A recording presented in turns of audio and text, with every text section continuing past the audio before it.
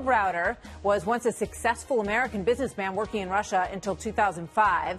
When he was suddenly expelled from the country, his company was seized by Russian authorities and used then in a massive tax fraud scheme. He then hired Russian lawyer Sergei Magnitsky, a name that you have heard a lot of lately, to investigate what was going on. Magnitsky was then thrown into a Russian prison. He died there after being beaten and denied medical care. Ever since then, Bill Browder has campaigned to punish Russia, and he says his efforts have made him Vladimir Putin's number one foreign enemy. Bill Browder joins us now from an undisclosed location this evening. Bill, good evening once again to you. Um, what was your reaction when you heard Vladimir Putin mention your name? I know you spoke about that here the other night. But then how about what you heard uh, at the White House today?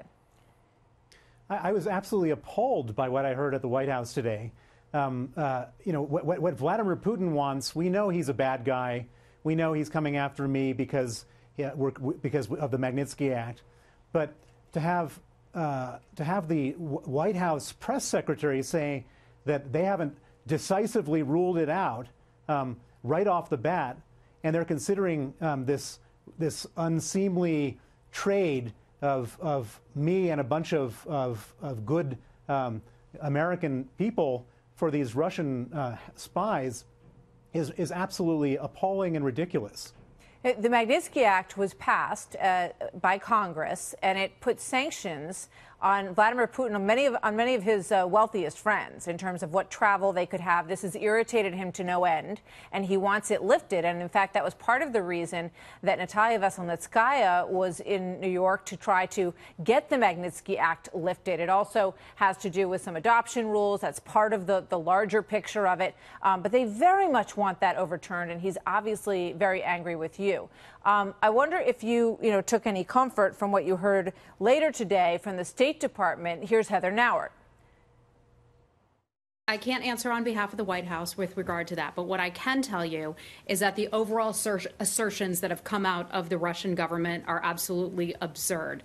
The fact that they want to question 11 American citizens and the assertions that the Russian government is making about those American citizens, we do not stand by those assertions. Does that make you feel any better? Well, I, I, feel better knowing, uh, I mean, that, that by itself doesn't make me feel better because the President of the United States is still, quote, considering it. But um, at, in the end of the day, I'm highly confident that nothing will happen.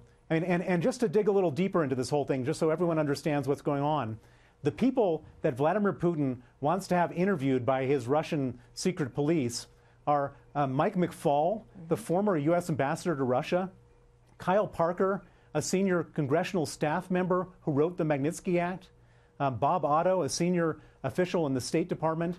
And then, in addition to that, there are three special agents of the Department of Homeland Security who have had been conducting investigations into Russian money laundering in New York, buying property.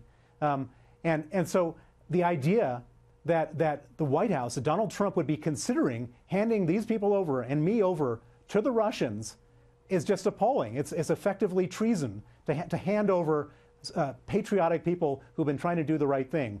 And, and, and th they better come out quickly and, and, and walk that one back. Otherwise, this is, this is truly a litmus test um, yeah. for the Trump administration.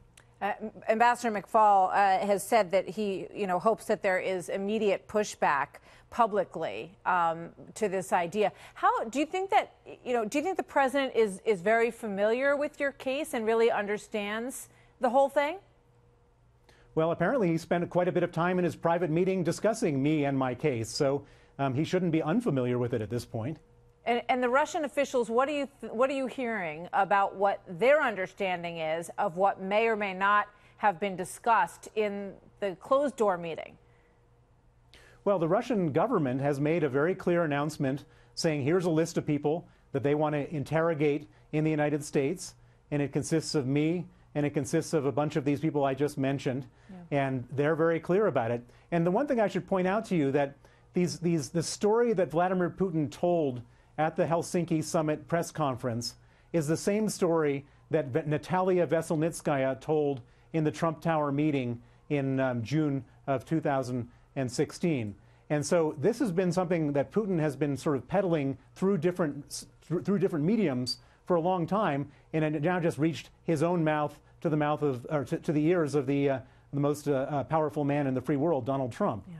Well, well, as of right now, uh, the White House says that uh, they thought it was a you know an interesting idea, um, and that was as far as they went with it. They made no commitment uh, to anything. So it, it is a quite extraordinary story, and we'll follow it very closely. Bill, thanks again for being here tonight. Good to see you.